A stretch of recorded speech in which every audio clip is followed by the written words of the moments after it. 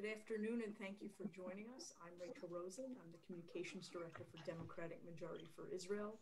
On behalf of our entire staff, our President, Mark Mellman, our board, our board of co-chairs are with us, Ann Lewis and Todd Richman. Welcome. We hope you and your loved ones are in good spirits and are staying safe. Before I turn it over to our board member, Mark Gerstein, to introduce our distinguished guest today, I wanted to go over a couple of items. If you like what you hear today, if you like what you see, here's a, a graphic that shows you how you can follow us on social media. We'd be grateful for a like or a follow. We'll also take questions today. If you have a question, please submit it through the Q&A feature on the Zoom app. And if you're joining us on Facebook, you can submit it in the comment section under the uh, video screen there. And also, if you want to learn more about DMFI, you can go to our website and please do consider signing up for our news and updates. And that's at dmfi.org. With that, I'm going to go ahead and turn it over to Mark Gerstein. Thanks, Rachel. Good afternoon. My name is Mark Gerstein, and I'm a member of the board at Democratic Majority for Israel. We are honored today to be joined by Merav Yachin. In our session today, Merav will be discussing her report on how Israeli tech companies and initiatives are responding to the COVID 19 crisis. Merav is a technology and innovation advisor at the Tony Blair Institute for Global Change based in its Tel Aviv office and her home today. In her role there, Merav works with the Institute's advisory teams across Africa to leverage Israeli technologies, knowledge, and expertise to bridge the gaps and challenges faced by the governments in the countries in which the Institute operates. Previously, Merav worked as a strategist and online specialist at Google and as a content and digital editor and TV producer. She also, admirably, served in the IDF spokesperson unit. Merav holds an MA in innovation, in innovation and entrepreneurship. Merav, thank you so much for joining us today. It's my pleasure to turn the program over to you. Thank you so much, Mark, for your introduction and your kind words. And hi, everyone. I hope uh, you'll enjoy uh, our discussion this evening. Um, if you don't mind, I'll begin by saying a few words about the Tony Blair Institute I work for, and then I'll present the report we published, uh, as Mark uh, generously said. So I'll begin by sharing my screen.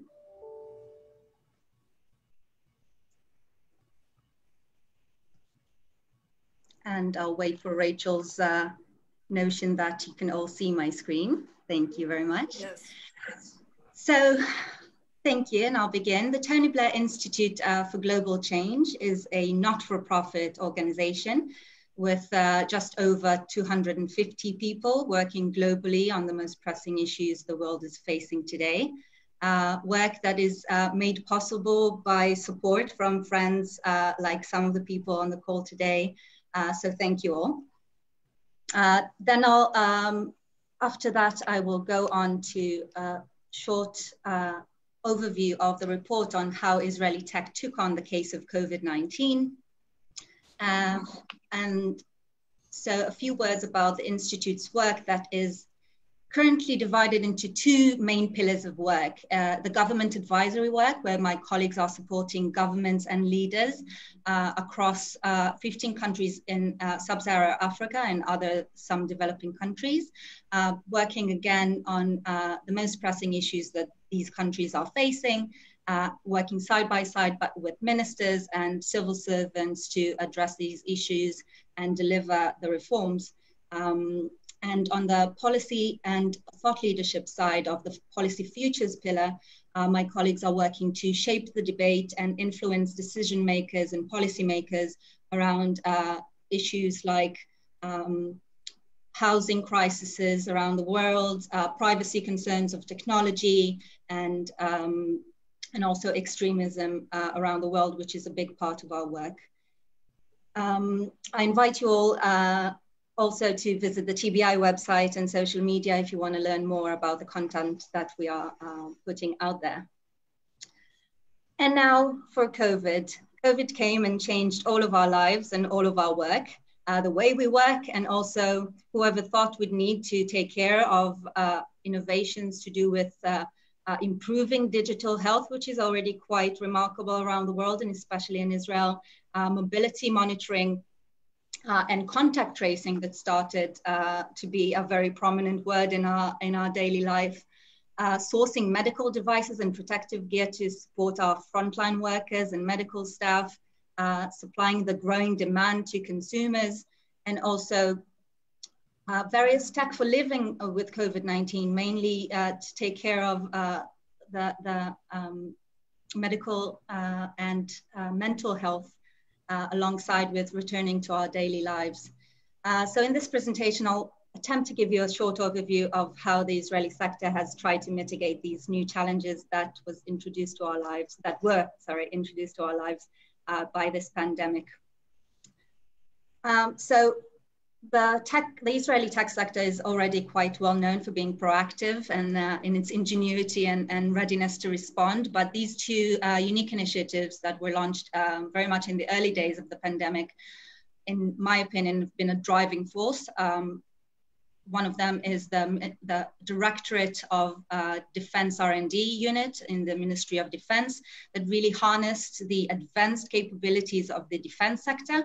Uh, they built a, um, a cross ministerial, cross uh, um, sector national emergency team that was working with uh, medical staff, engineers, private sector, researchers, pretty much brought everyone to the table to find uh, the, the right solutions and the, and the fastest solutions to be implemented and the Innovation Authority that put up call for uh, proposals and very quickly received 750 proposals, uh, out of which just over 30 companies received uh, grants totaling at $15 million um, last month.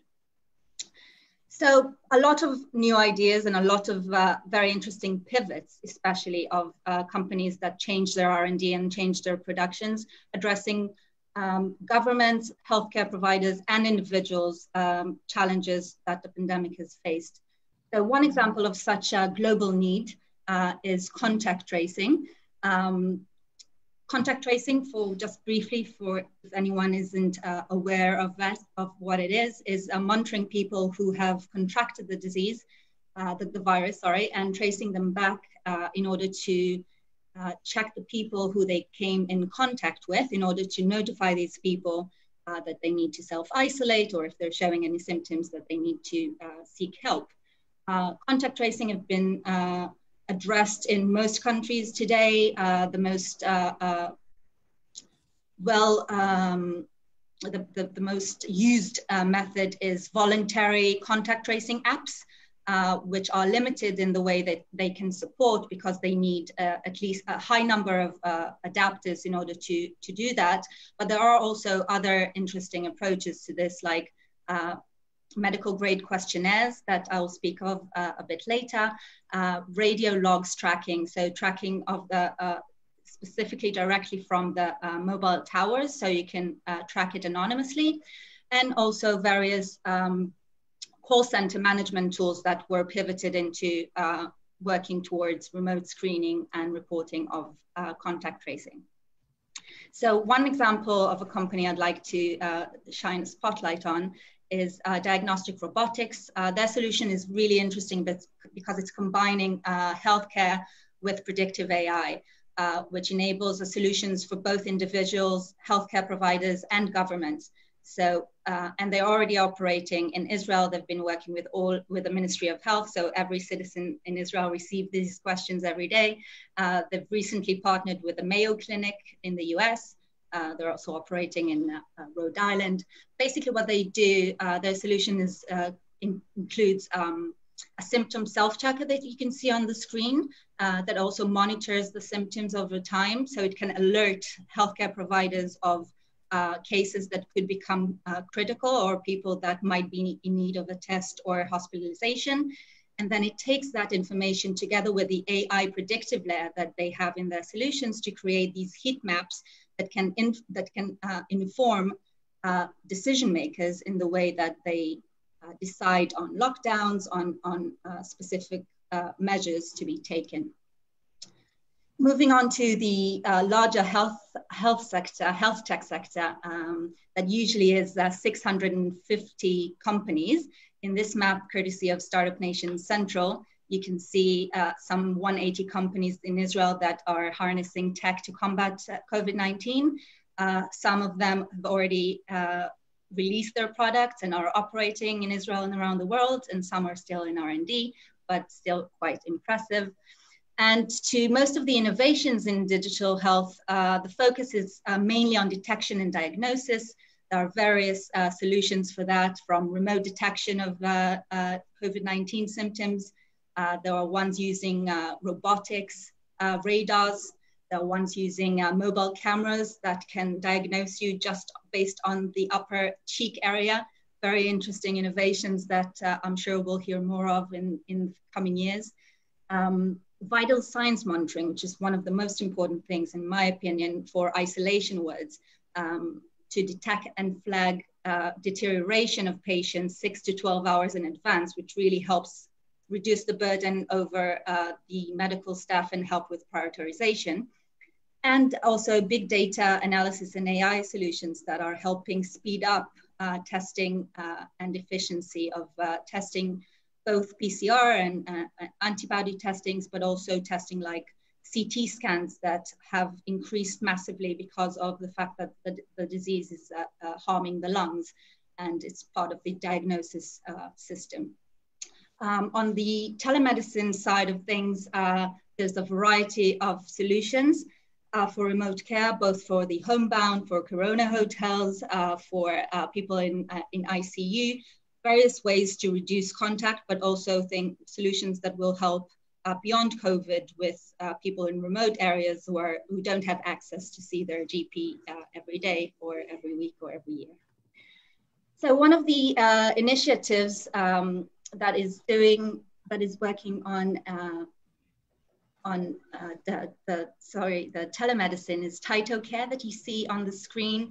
TytoCare has a remote uh, all-in-one examination device that is offering pretty much all types of checks that can be sent remotely to your doctor and then uh, they can um, decide on your, on your process of care. And uh, you can also see the cockpit system that is uh, one of the products that's been developed by the uh, Directorate for Defense R&D initiatives, which is a combination of the Soroka Medical Center and IAI, which is the Israeli aerospace uh, industry. So they have created this dashboard. Uh, it's not only a dashboard, but it's a system that can remotely collect all of the data from critical care patient, um, analyze all of the data, get all the symptoms, analyze all the data, uh, and show this live dashboard in a secure place for the medical staff to be able to uh, do their work in a sterilized uh, environment. Another uh, global, uh, global uh, shortage and global concern was the shortages of ventilation devices. Israel was no different in the, in the first wave. There was a real scare that we won't have enough ventilators um, to um, accommodate all the people in need. So this started um, two rounds of uh, efforts. One was repurposing of uh, defense companies' production lines. Uh, they repurposed it to produce ventilators and ventilation support devices. And the second one was uh, multidisciplinary uh, teams that were working between medical staff, engineers, uh, researchers to produce uh, and design simple ventilation support devices to make sure that the critical care patient in need of high acuity uh, ventilators will have these uh, when they need it. And these, um, these simpler ventilator devices can be uh, supportive of the less uh, critical care patients. Uh, another race that Israel is, uh, was not different to, from uh, its neighbors or around the world, is protecting frontline workers and the shortage of uh, PPEs or protective, uh, personal protective equipment. Uh, this led to a surge in, um, in initiatives in Israel for 3D printing. I think every school that had a 3D printer started producing uh, face shields like crazy and delivering them to um, all of the hospitals and nursing homes. Um, there were also more advanced solutions like the use of biotechnology and nanotechnology in 3D printing for more advanced protection. And again, there were uh, multidisciplinary collaborations, mostly between university um, or medical universities and uh, the defense sector to address specific issues um, that doctors and medical staff were dealing with, like impeded vision because of the, uh, the masks and, and all of the gear and overheating. So they needed to solve that as well. Uh, two examples for uh, companies or initiatives. You see Ambovent, which is an example of these uh, um, simpler design ventilation support devices. Uh, this one is special because it's an open sourced one uh, designed to help developing countries around the world. They've had uh, just under 50,000 downloads uh, from teams around the world, and they have 200 active teams building their own prototype. So hopefully they can help save lives. Um, and Sonovia is uh, an interesting company that made one of the fastest uh, pivots that I've seen. Um, they are working on uh, fabric coating, uh, various fabric coating, and one of their solutions was a fabric coating that is um, making the, the um, fabric actively kill bacteria, viruses, and fungi. So not only protecting, uh, but also durable um, and can be reused. So what they did was take that, uh, that innovation, quickly turn it into face mask, got it FDA approved, and they're now already selling internationally. So very fast pivot and very promising uh, solution. Being conscious of time, I'll go over this uh, quickly. Uh, so logistics solutions are also uh, uh, a big concern because of growing uh, need for delivery to people stuck at home for well, quarantined or, or in hospitals. And there's also a lot of closures between borders and, and lack of uh, uh, safe and free transport. So legacy solutions were not really up to the game. So uh, various solutions for contactless delivery, like unmanned uh, drone deliveries or even unmanned drone uh, operations of sites like oil and mining sites. Um, there was obviously local delivery management platform that sounds simple, but for businesses who weren't delivering, it was very, very uh, critical in order to stay, stay in business and stay alive.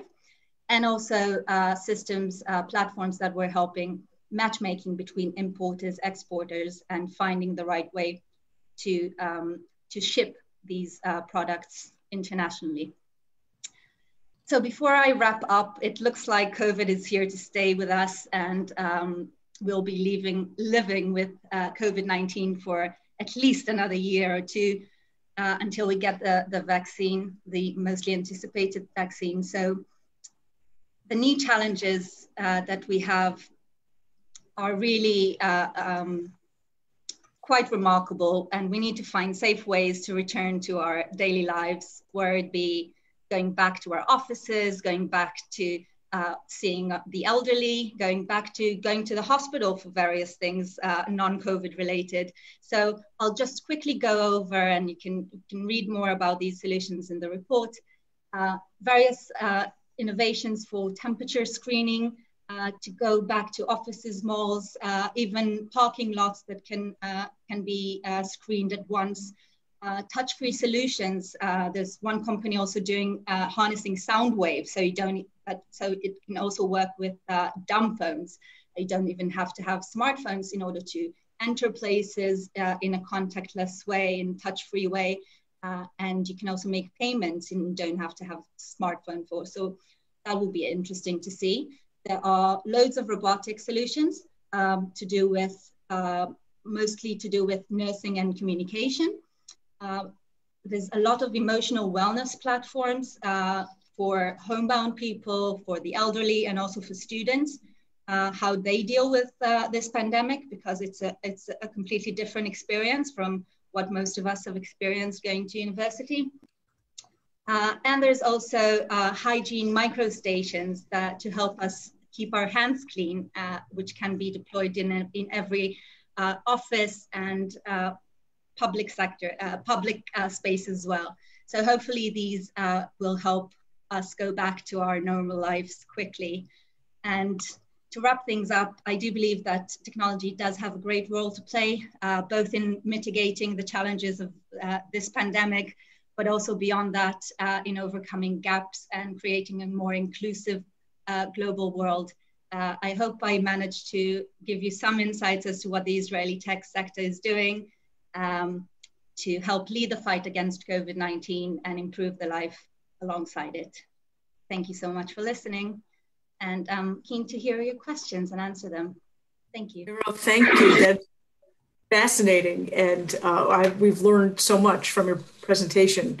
I'm so eager uh, to get to ask you some of my own questions and to uh, get questions from the group. For folks who joined us maybe a little bit late, please do uh, submit questions. You can do it through the Q&A feature uh, on the Zoom uh, interface. If you're on Facebook, you can type it uh, into the comments box. And let me start, uh, Merav, how did you get the idea to compile this report? How did that come about? So I would have to say this this all started by, uh, first of all, the, the, institute in its entirety has pivoted uh, with the start of COVID 19, like many other organizations. So, teams around the world are working to support leaders and governments in their response uh, for COVID 19. And because of uh, the fact that technology plays a huge role in the Institute's uh, work, both in, uh, especially in policy of what technology can do and how to mitigate the risks and the implications of a misuse of a technology uh, and the fact that I was working here in Israel uh, already in the realm of uh, Israeli technologies and innovations and seeing all the all the uh, amazing innovations that coming at a, a, such a huge uh, uh, speed as well and already making an impact in Israel and abroad. So it really was a no-brainer that we have to map them. And once we saw the you know, just the, the sheer volume of, of and, and uh, variety of solutions, uh, we believe that it would be of interest also for leaders of other governments and other um, other people in our network to see and be inspired by, by what's happening. Great. We have a couple questions coming in about uh, cooperation between the public and private sectors, between the university sector. Is that something you can could speak about, and in terms of, of funding? perhaps as well? Um, so I think the funding side of things were uh, was less uh, public. Uh, I can tell you that I know a lot of the funding came from uh, the the bodies that were driving these innovations or that were hosting them. So the Ministry of Defense uh, R and D unit was uh, in charge of funding of a lot of them. Uh, a lot of them were also working pro bono uh, in, in terms of the initiatives. A lot of times, uh, people were just calling and saying, I want in, I want to help, I want to become a part of the team. Uh, the Ambovent uh, uh, case that I've presented is, is pretty much the same. they also um, been involved with Microsoft specifically, so a few international companies have, have pulled in and um, been looped in either uh, proactively or being approached to to help with the funding. And also, as I said, the Innovation Authority have, has given quite a lot of money to help speed up um, these uh, products, uh, both R&D and time to market. Um, that was very that is very important in in the, the case of a pandemic. Great. Here's a question uh, from Michael Fleischman. Uh, in what COVID response technology areas does Israel have true advantages relative to other countries? How might the US consider cooperating with Israel in health technologies? So I would say digital health. Uh, you all saw the, the, um, the very impressive map of 180 companies just in health tech.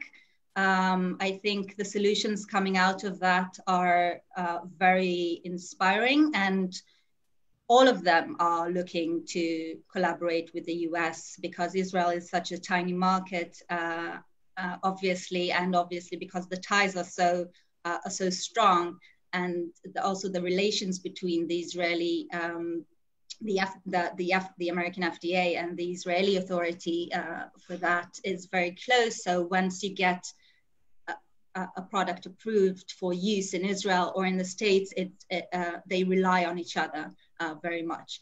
So I think collaboration is uh, already happening. It needs to happen more. I think um, uh, obviously, uh, companies being proactive in uh, reaching out uh, should play a game, but also public sector and dip diplomats that are doing a lot of the work. I know around the world, in India and in Africa, a lot of work is being done through diplomacy as well. Great, Merav. I know it's something that you and I had, had spoken about uh, together about uh, how Israeli innovation on COVID is uh, potentially Im- improving diplomacy with some co- some countries. Uh, could, could, you expand upon that a little bit more, please? Yes. So um, I, am a great believer that uh, tech is a bridge uh, and can act as a bridge between people and countries um, I'll, I'll, start by sharing something personal. I worked for Google. I was based in Dublin. Uh, it, it's the headquarters of uh, EMEA. So I had uh, the pleasure of working with people from all around the world. And when you are placed with in around the same table with people from even people that you don't even know or people from neighboring countries that you grew up supposing to hate or saying they are my enemy and being connected over technology and ideas and research and innovation uh, creates such a strong tie and opens up the discussion the, and, and opens up the heart. And i believe that uh, that is the way and i think that technology in general can play a huge part in that. Um, I think one of uh, the biggest examples that we've seen recently in terms of Israel uh, collaborating with uh, a country doesn't have uh, diplomatic ties is a recent publication that uh, two private companies from Israel have signed with two private companies in the UAE um, which is a first. Uh, I'm not saying it's a first that the business in, is being done, I don't know, but it's the first time definitely that is being publicized. Um, it's not yet a diplomatic um, occasion. It's still very much an, uh, an R&D um, collaboration, but I do believe that once that type of normalization of, uh, of uh, business ties happens, it's uh, definitely uh, opening up the way for more diplomatic uh, discussions as well. interesting. And I, I know that vaccines and treatments weren't directly covered in, in your report, but could you give maybe just a very broad overview on the on the vaccine conversation happening in Israel now?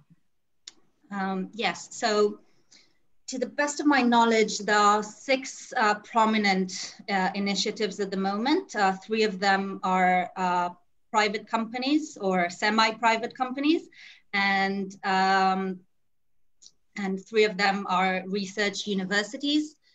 So um, one company or an institute rather that it belongs to uh, the government in a way is the Israel Institute for Biological Research. Um, I know that they are the most advanced in terms of uh, developing their vaccines, and they have uh, already done animal testing on uh, hamsters. And the most recent finding was that their testing was uh, successful on the hamsters and they were able to show uh, their, their uh, solution, sorry, is based on antibodies. So they were able to show that by intake of the antibodies, um, the hamsters were able to uh, protect themselves and fight the disease. Um, so that is that one was interesting. There's another one that is more built on uh, the subunit of the vaccine, as it's called, uh, which contains pieces of the coronavirus protein. It's not the actual virus, but the protein of it. And uh, they've recently uh, raised um, $12 million uh, to develop their research, and they're hoping to uh, start clinical trials by this summer. Uh, these are the two most, most advanced ones. Um, and there's another company uh, working based, the solution is based on algae. so help, that algae is helping the, the um, for lack of a better word, the, the, uh, the photosynthetic organism go through the body and uh, help, uh, help the immune system uh, through that. So two that are working to, uh, with the immune system and one that is working uh, with the protein of the, of the virus itself. Um, on the research done by the universities, there's less information, but I can tell you that two of the big universities working on vaccines have already uh, signed deals and for collaborations with international companies. Uh, so the Tel Aviv University has signed with uh. I hope I'm pronouncing it right. It's a Swiss-based pharmaceutical company. And the Bar Ilan University is working in collaboration with a Swedish pharmaceutical company called Dassau's Lab. Um, so there's uh, hopefully good news to come. I hope so. Question uh, here from a supporter. How does the level of COVID innovation in Israel compare to that in other countries? Uh, so um, I think the level of Israeli innovation in general is quite high. Um, I believe we're still, uh, in terms of um, people per startups, uh, still one of the high highest uh, in the world. I, I think the, the last number was a startup for every 2,000 people. Um, so that's quite impressive in general in terms of the, uh, the volume, uh, but also the innovation in terms of its ingenuity is quite impressive, I would say, because there's, uh, there are a few factors that are very much uh, uh, unique to Israel um, that enable that innovation in a, in a fast, flexible way, uh, and, and very much being able to act quickly and, and readiness, uh, both to adapt the innovation, but also to work together in collaborations like we've seen uh, on some of these initiatives. So working in this collaboration that really helps move quickly, but also inform each other from different sectors. And so the, the products are better from the get-go, because if you combine health professionals, with security professionals, with uh, engineers working on software, uh, with researchers and, and policymakers, then you look at the, the entire ecosystem or the entire value chain of a, a specific product problem. And then the level is, uh, I believe, higher. Um, and in COVID, um, I just read, I think two days ago, that Israel is third in the amount of uh, and volume of uh, products out already, and it's third uh, to uh, United States and China. So just looking at the size of the country, I think it says a lot. Wow, yeah, that's very impressive. Can you share some of the specific success stories where Israeli innovation on COVID has has made an impact for the better? Um, Sure. I um, there's one story of one company that is uh, dear to my heart. I really believe in in their innovation. It's quite uh, difficult to explain, so I encourage you to go to their website and and look for uh, more uh, information about the company.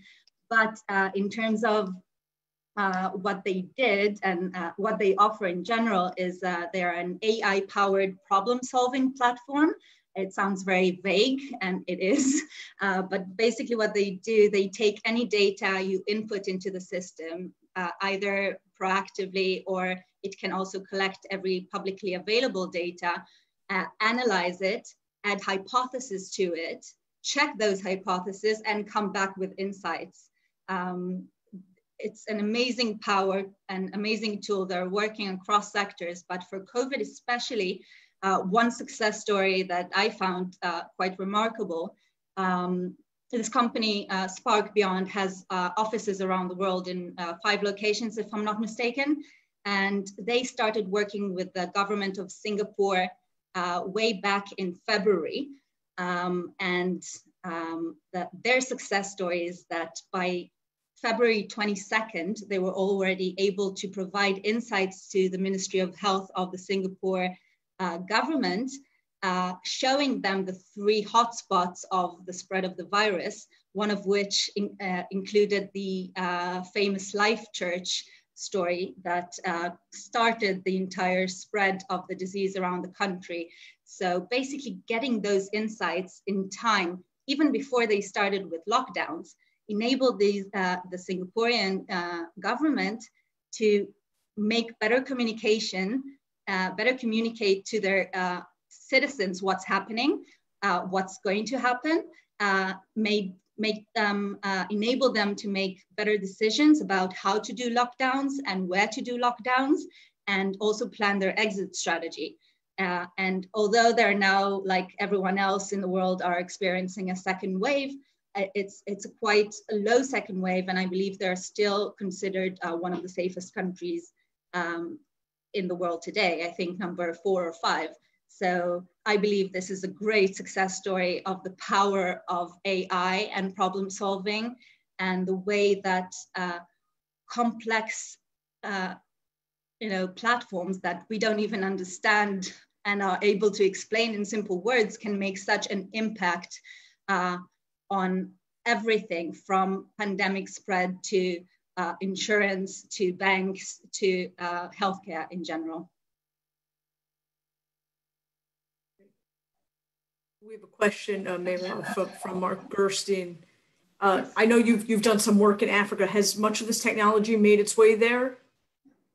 Um, so one of the problems, I'll, I'll use that word, uh, with getting some of the technologies to Africa beyond the ones that are open source and, uh, and low tech is the fact that there's a problem of connectivity uh, and mobile data usage. So things that seem to be obvious for us to have Wi-Fi or even to be able to make a phone call or have mobile data is not the case in many of the countries, especially in uh, the rural areas.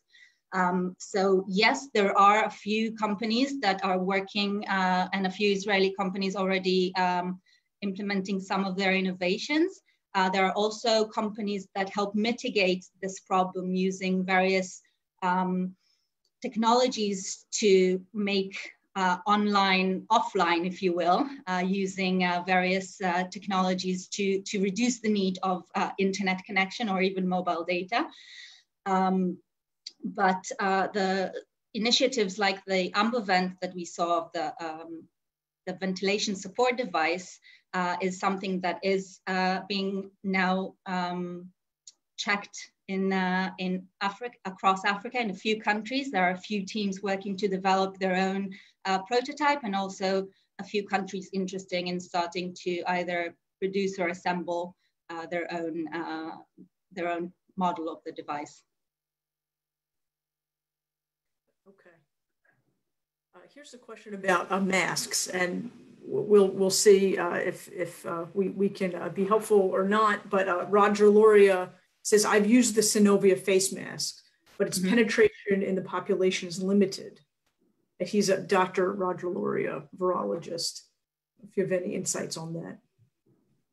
Um, so how they can penetrate the the the population more? Is that the question? Well, That's I think there, uh, I think they're only at the start of their uh, way. Uh, they just got, uh, they just started uh, international shipping about, I think about a month ago. Don't hold me to it. Um, but I believe that uh, with time and with more purchase purchases around the world, they will also be able to reduce the, the cost of the of the mask, and that will definitely help in making it a more of a household. Um, product. I think we'll do one or two more questions, and if folks have any more, please do go ahead and submit it in, in the Q&A feature. And Merav, you talked in your presentation about contact tracing. Can you, could you talk a little bit more about how that works and, and how you maybe even see that uh, improving and maybe even being more utilized more widely in the future? Yeah, um, so as I said, I think I mentioned uh, earlier, what's really important about these voluntary contact tracing apps is uh, adapt uh, is ad adoption and uh, usage.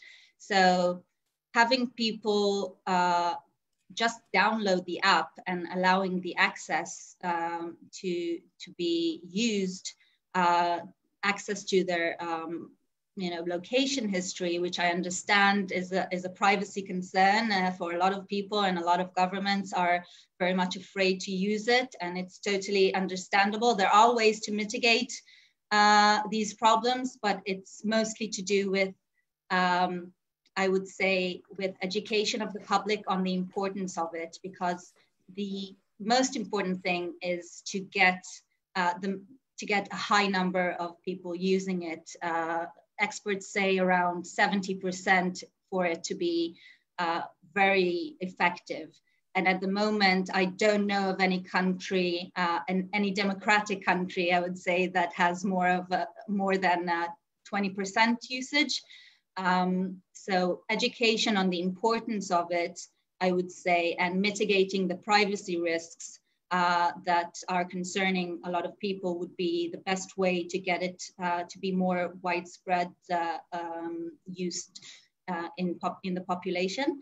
Um, and there are other ways um, that governments are starting to adapt to, like uh, smart and other types of uh, tracking and surveillance, for lack of a better word, um, that are all also used. But again, these privacy concerns is the one thing that needs to be addressed in order for uh, the contact tracing uh, power, uh, digital power of contact tracing to really make an impact. And as a final question, we're, we're so fortunate and grateful to have you with us today and, and really appreciate your insights. What did you find especially interesting or meaningful about, about the report and your time working on it? Um, so I would have to say um, you started off with uh, with a question on collaboration, and it's nice to end it also on collaboration because I think that is the the thing that strike me most is the the, amount, the sheer volume of and types of uh, various collaborations. And you know, Israel is considered the uh, startup nation, and I think uh, post COVID, it can definitely be uh, renamed as the collaboration nation of, uh, of startups and technology. Um, you know, having these multi teams work and, and the way they work as well, which is another thing that is quite unique, I believe, to Israel, is the flat hierarchy of it all. Uh, so the flat hierarchy that really enables people to work uh, quickly and uh, directly with each other and uh, get to these results uh, so quickly. Uh, the, the cockpit uh, uh, system that we've seen has been uh, developed and running within weeks. Um, some of these models of ventilation support devices have been up and running and tested within a month. So the, I think the, the collaboration really helps first of all, it's it's inspiring to see and inspiring to see that the how different people from different sectors can work together so well. And it's inspiring to see how good of products they can, uh, they can then produce together. Thank you so much, Merav. I'm going to uh, hand it over to Mark Mellman, DMFI president. Thank you. Thanks Rachel. very much, Rachel. And Merav, thank you so much for really an extraordinarily insightful and important uh, report that you put out and a presentation to us that we're very, very grateful for. Obviously, part of the goal of the Democratic Majority for Israel is to strengthen the U.S. Israel relationship, particularly within the Democratic Party. One of the ways in which we think it's important to strengthen that relationship is to make it clear that that relationship is really about a lot more than just uh, important as it is conflicts with the Palestinians or military and strategic issues. There's a great deal more to this relationship. Uh, and I think Merav underlined many of the important uh, aspects that do underlie this relationship that are uh, really quite different from what we usually see in the headline. So again, we're grateful for that. Um, just uh, for those of you that are uh, are uh, consistent uh, supporters and people interested in our work, that work continues. as you know, we have been deeply engaged in the democratic platform process, which is coming to a close. where it's in a very good place, thanks to the work that that all of you have done through DMFI and elsewhere. Uh, so that's a very, very good, uh, important success that we're going to be racking up. Uh, DMFI PAC, our separate sister organization, uh, continues to uh, help uh, candidates win elections. we've won about 17 so far, lost one, and one we're still waiting for a decision on. so DMFI PAC is continuing its work to make sure that we support pro-Israel Democratic candidates. And obviously, as we turn to November, we're going to have a very, very important set of races. from the top of the ticket, Joe Biden down to uh, uh, congressional and the Senate level as well, uh, where we'll be working very hard to protect pro-Israel Democrats and to advance the interests of, of new pro-Israel Democrats who can be joining in the Congress. So lots of continued activity on lots of different fronts. Uh, but again, we're so grateful to Merav for such a wonderful presentation and for really making clear uh, the many bases on which we need and should have a strong U.S. Israel relationship. Thank you. So much, Mark.